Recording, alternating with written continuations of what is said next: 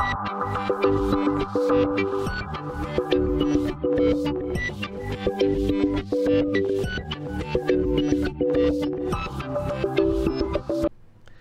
everyone, welcome back to the channel. Today we are going to use some formula to answer some questions, in particular the COUNTIF formula and the SUMIF formula.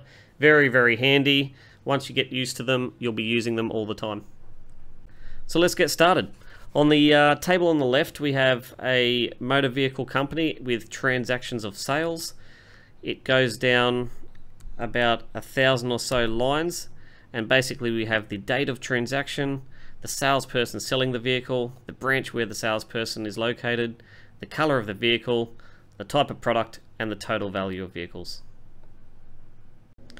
So with this type of data set, some very common questions we have on the right, and we'll use the COUNTIF and SUMIF formula to work out the answers. Now the first question is, how many motor vehicles has Frank sold? Now, a very easy way to do this is to count how many rows where we find Frank as the salesperson in column C. So let's get started with the formula. Equals COUNTIF.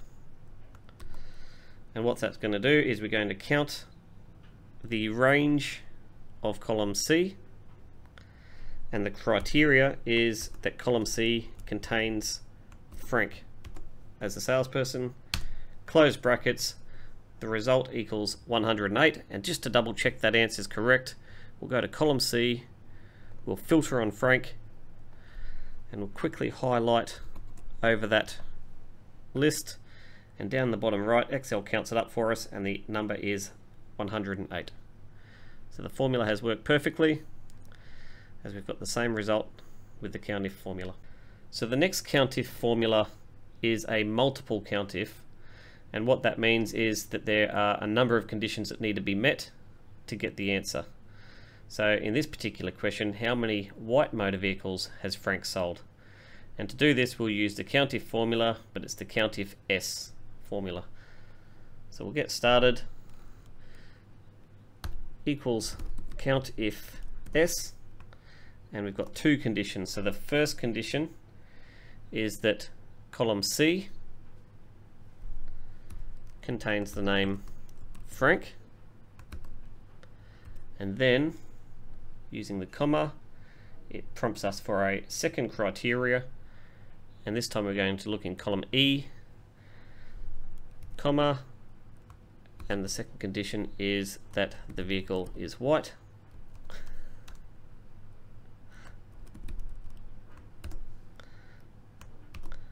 And now we have our answer, and there's 22 rows where there's a salesperson of Frank, and the color of the vehicle is white. Again, we'll just quickly double check it. Filter onto Frank, we've got 108, and now we're just going to look at white vehicles, and again, quickly count up the number of rows, and it's 22. And our answer is 22, so that's worked again. The next type of question is not just simply counting rows, but it's going to sum a value within that row where the conditions are met. So instead of using a COUNTIF, we're going to use the formula SUMIF. So this time, what is the total uh, what is the total value of sales for Frank? So what we're going to do is we're going to sum the values in column G, where the condition of Frank is met in the row C salesperson.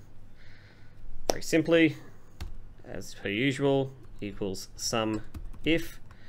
We can look at the prompts that the formula is asking. We're going to sum the range. So again, we're going to sum the range of column C, comma, where the condition and the criteria is Frank, comma, we have a third option here, and it is what are we going to sum if those conditions are met. We are going to sum column G. So what's in column G? Close brackets. The answer is 2.8 million. I'll just quickly change that to dollars to make it more obvious. And there you go, the answer is $2.851 million. And to just confirm, as we have done in the past, we'll filter to Frank. And this time we'll highlight over the values. And what Excel does is quickly does a sum down here, 2851000, and that's exactly the answer that we got using the SUMIF formula. 2851000. And the final formula we will use today is the SUMIF S function, and very similar to the COUNTIF S function is it's going to count or sum up the value that you select based on multiple conditions. So the question here is, what is the total value of trucks sold on a Monday? So we've got two conditions, trucks and sold on a Monday. Start the formula again, equals SUMIF. Use the S to have multiple conditions. And this time it's asking us for the sum range as the first part of the formula. So we're going to sum column G, which is the value, based on the criteria that it's a truck, so column F, and the criteria is truck. And the next criteria range is that we're looking for Monday, so the day of the week is criteria range. And what is the criteria? Is that it's a Monday. These ones are the first three letters, so we'll make sure that equals exactly what the column is. Monday, M-O-N. So sum if, we're going to sum column G.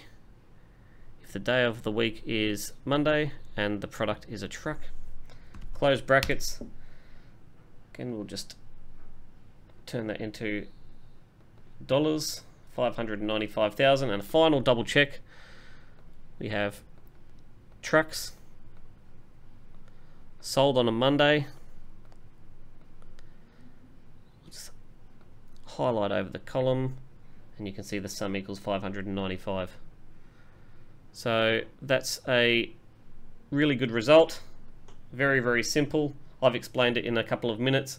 Once you get used to these you'll be able to do them in, in a matter of 30 seconds so thanks for your time. Don't forget to subscribe to my channel so I can put out some more Excel tutorials and I hope you enjoy. Thanks.